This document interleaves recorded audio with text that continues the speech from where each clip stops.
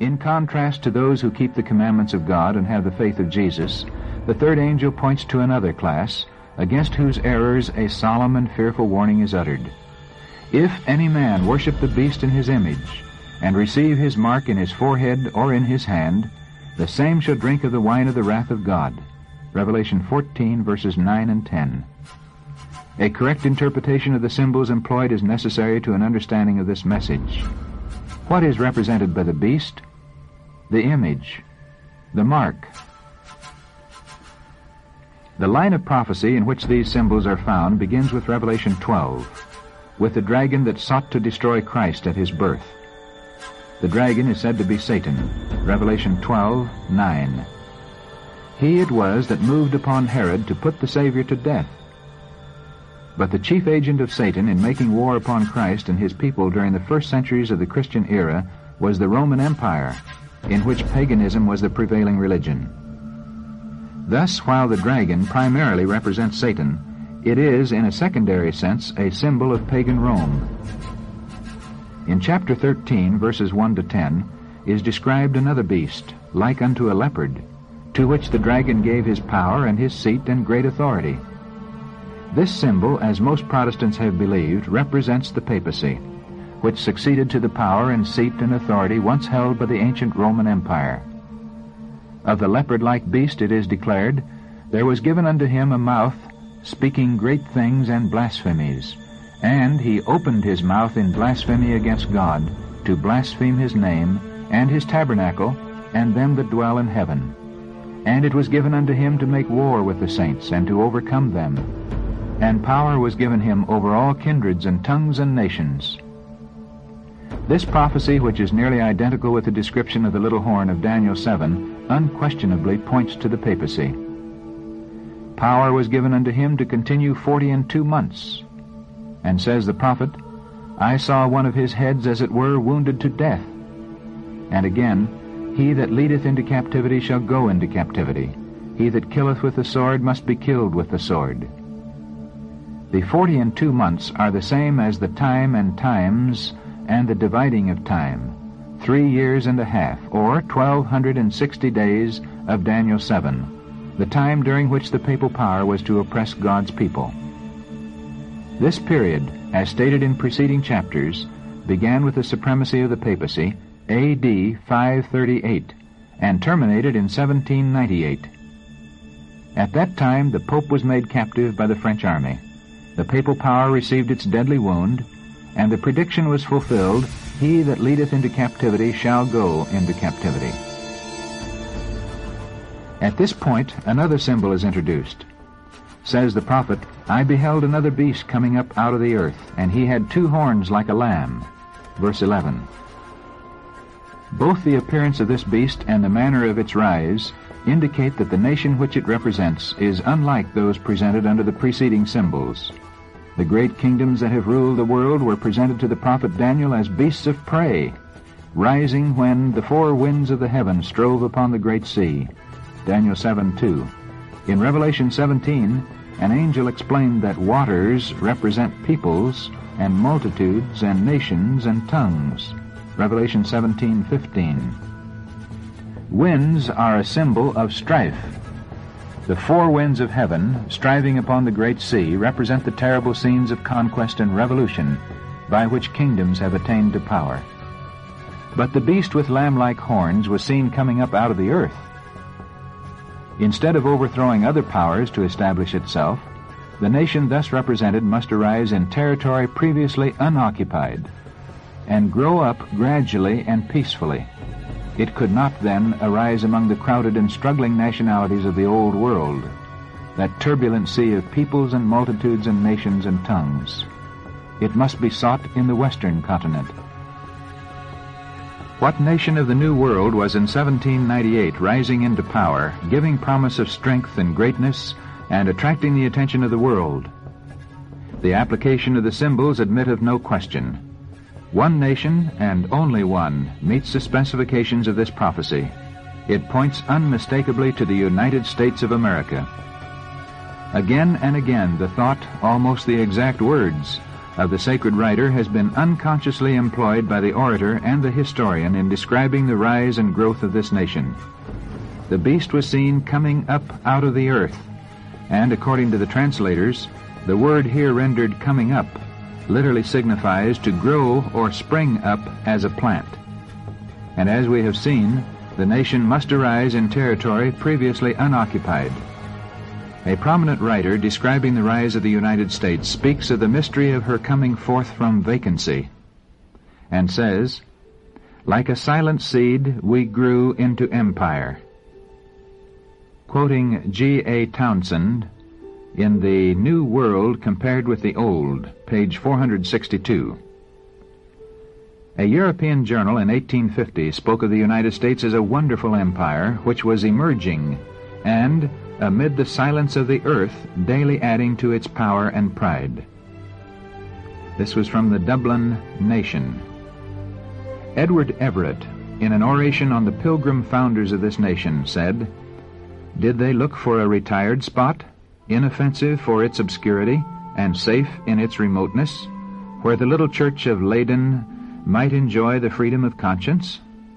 Behold, the mighty regions over which in peaceful conquest they have borne the banners of the cross.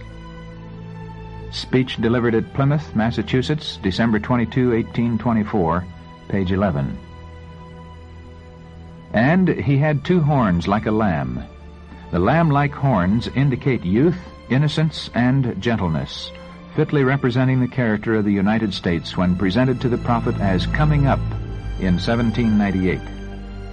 Among the Christian exiles who first fled to America and sought an asylum from royal oppression and priestly intolerance were many who determined to establish a government upon the broad foundation of civil and religious liberty. Their views found place in the Declaration of Independence, which sets forth the great truth that all men are created equal and endowed with the inalienable right to life, liberty, and the pursuit of happiness and the Constitution guarantees to the people the right of self-government, providing that representatives elected by the popular vote shall enact and administer the laws. Freedom of religious faith was also granted, every man being permitted to worship God according to the dictates of his conscience. Republicanism and Protestantism became the fundamental principles of the nation. These principles are the secret of its power and prosperity. The oppressed and downtrodden throughout Christendom have turned to this land with interest and hope. Millions have sought its shores, and the United States has risen to a place among the most powerful nations of the earth. But the beast with lamb-like horns spake as a dragon, and he exerciseth all the power of the first beast before him, and causeth the earth and them which dwell therein to worship the first beast, whose deadly wound was healed saying to them that dwell on the earth, that they should make an image to the beast which had the wound by a sword and did live. Revelation 13, verses 11 to 14. The lamb-like horns and dragon voice of the symbol point to a striking contradiction between the professions and the practice of the nation thus represented.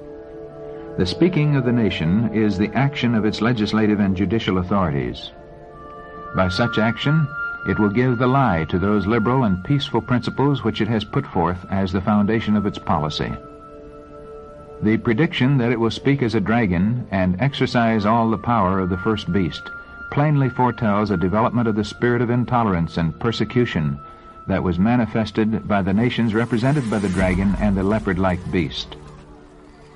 And the statement that the beast with two horns causeth the earth and them which dwell therein to worship the first beast, indicates that the authority of this nation is to be exercised in enforcing some observance which shall be an act of homage to the papacy.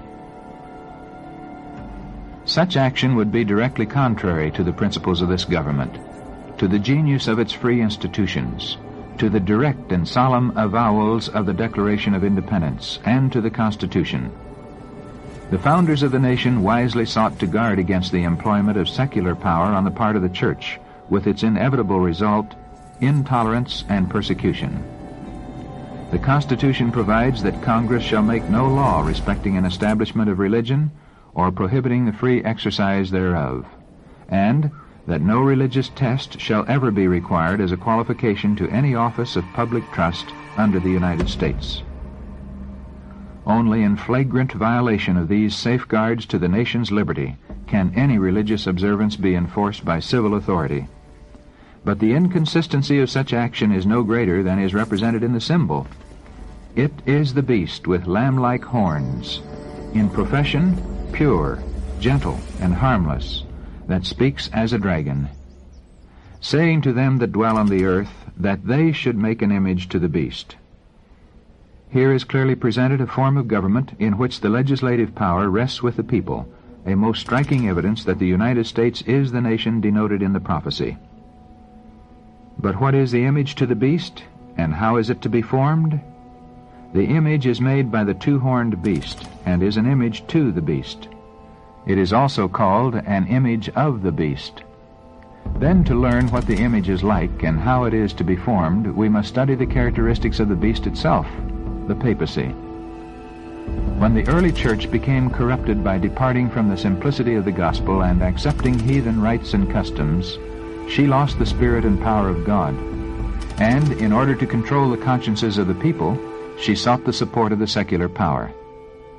The result was the papacy, a church that controlled the power of the state and employed it to further her own ends, especially for the punishment of heresy. In order for the United States to form an image of the beast, the religious power must so control the civil government that the authority of the state will also be employed by the church to accomplish her own ends. Whenever the church has obtained secular power, she has employed it to punish dissent from her doctrines. Protestant churches that have followed in the steps of Rome by forming alliance with worldly powers have manifested a similar desire to restrict liberty of conscience. An example of this is given in the long-continued persecution of dissenters by the Church of England. During the 16th and 17th centuries, thousands of nonconformist ministers were forced to leave their churches, and many, both of pastors and people, were subjected to fine, imprisonment, torture, and martyrdom. It was apostasy that led the early church to seek the aid of the civil government, and this prepared the way for the development of the papacy, the beast. Said Paul, There shall come a falling away, and that man of sin be revealed. 2 Thessalonians chapter 2 and verse 3. So apostasy in the church will prepare the way for the image to the beast. The Bible declares that before the coming of the Lord there will exist a state of religious declension similar to that in the first centuries. In the last days perilous times shall come, for men shall be lovers of their own selves, covetous, boasters, proud, blasphemers, disobedient to parents, unthankful, unholy, without natural affection, truce breakers, false accusers, incontinent, fierce, despisers of those that are good, traitors, heady, high-minded, lovers of pleasure more than lovers of God, having a form of godliness but denying the power thereof. 2 Timothy chapter 3 verses 1 to 5. Now the Spirit speaketh expressly that in the latter times some shall depart from the faith, giving heed to seducing spirits and doctrines of devils. 1 Timothy 4 1. Satan will work with all power and signs and lying wonders, and with all deceivableness of unrighteousness.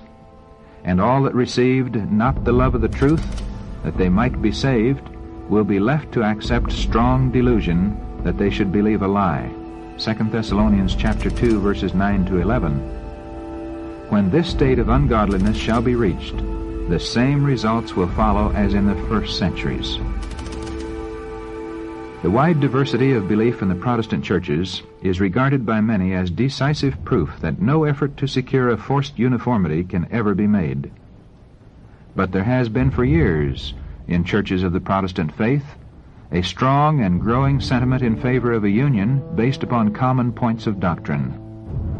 To secure such a union, the discussion of subjects upon which all were not agreed, however important they might be from a Bible standpoint, must necessarily be waived.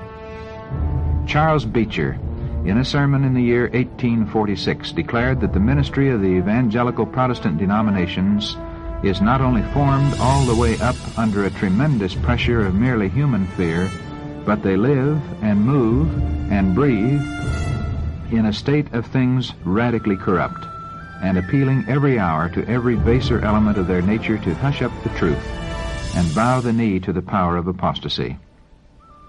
Was not this the way things went with Rome?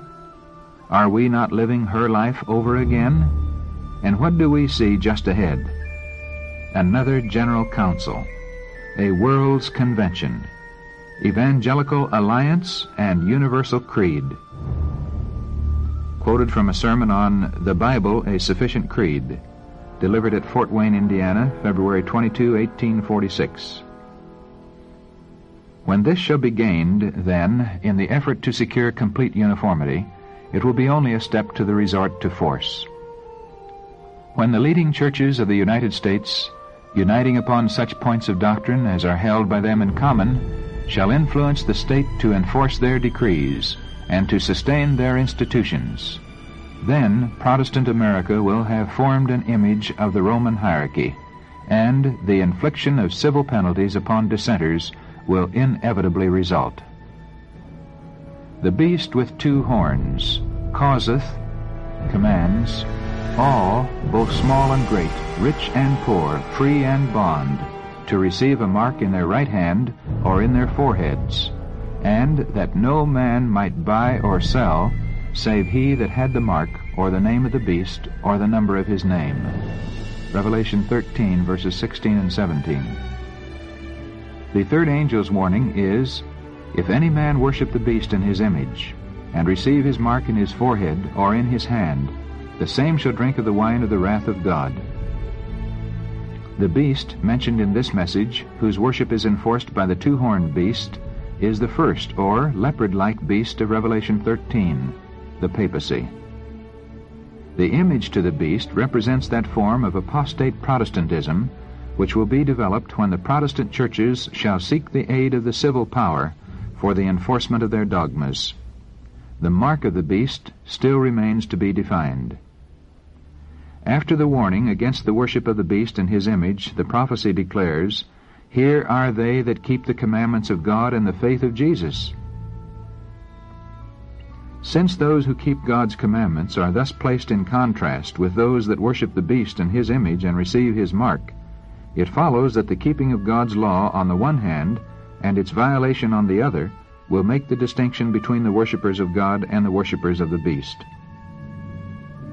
The special characteristic of the beast, and therefore of his image, is the breaking of God's commandments. Says Daniel of the little horn, the papacy, He shall think to change times and the law. Daniel 7:25, Revised Version. And Paul styled the same power the man of sin, who was to exalt himself above God. One prophecy is a complement of the other. Only by changing God's law could the papacy exalt itself above God. Whoever should understandingly keep the law as thus changed would be giving supreme honor to that power by which the change was made. Such an act of obedience to papal laws would be a mark of allegiance to the Pope in the place of God. The papacy has attempted to change the law of God.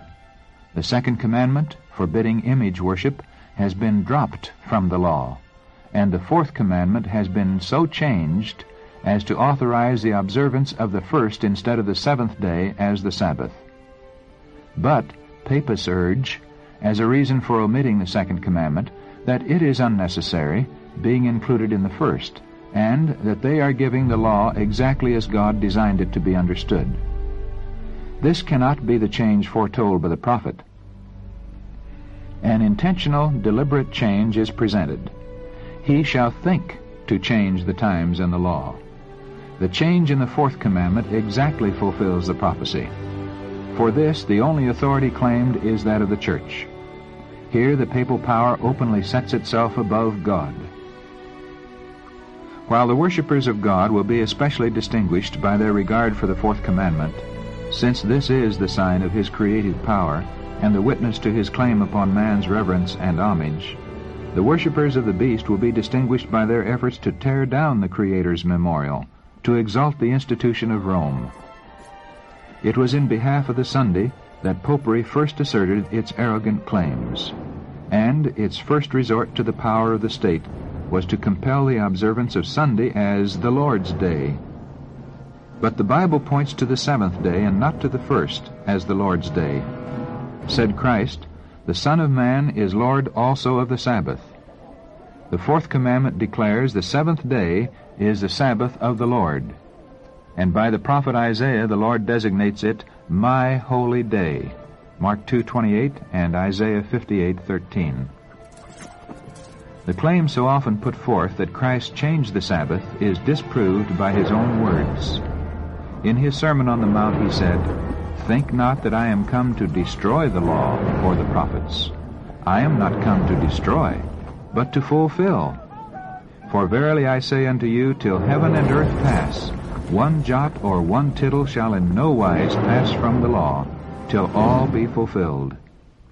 Whosoever therefore shall break one of these least commandments, and shall teach men so, he shall be called the least in the kingdom of heaven.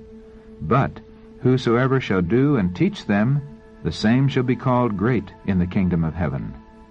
Matthew chapter 5 verses 17 to 19.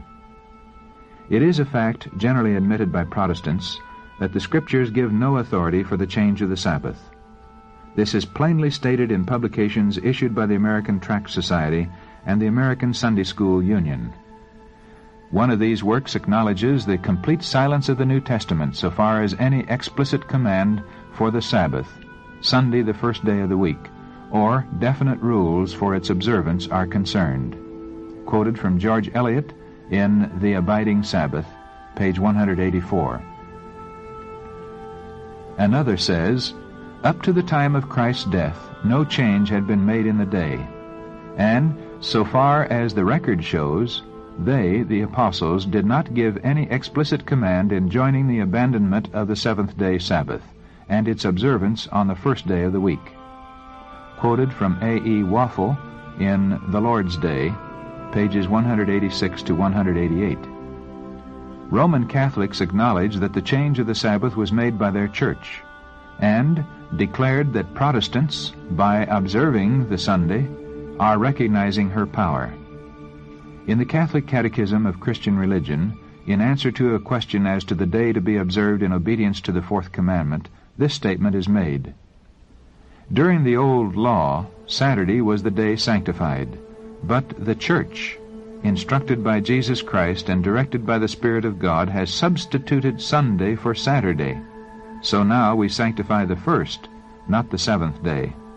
Sunday means and now is the day of the Lord. End quotes.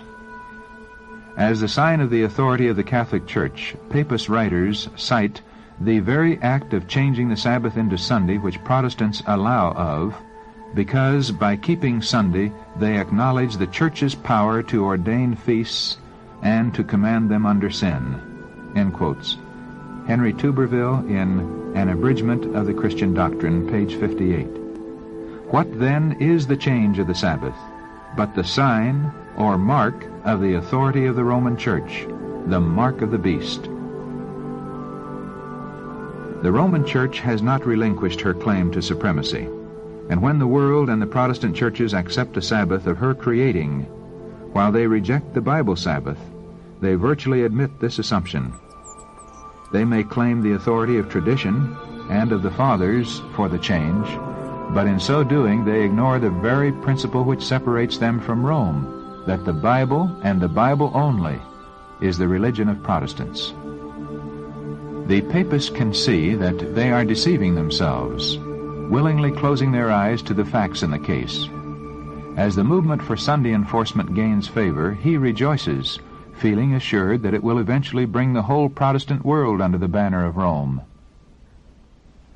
Romanists declare that the observance of Sunday by the Protestants is an homage they pay in spite of themselves to the authority of the Catholic Church.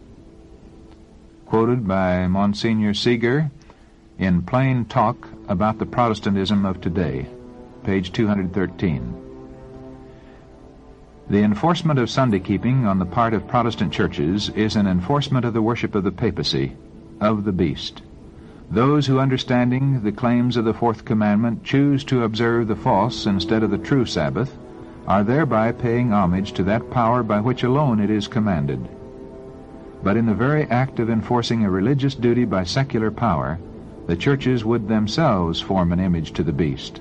Hence, the enforcement of Sunday keeping in the United States would be an enforcement of the worship of the beast and his image. But Christians of past generations observed the Sunday, supposing that in so doing they were keeping the Bible Sabbath.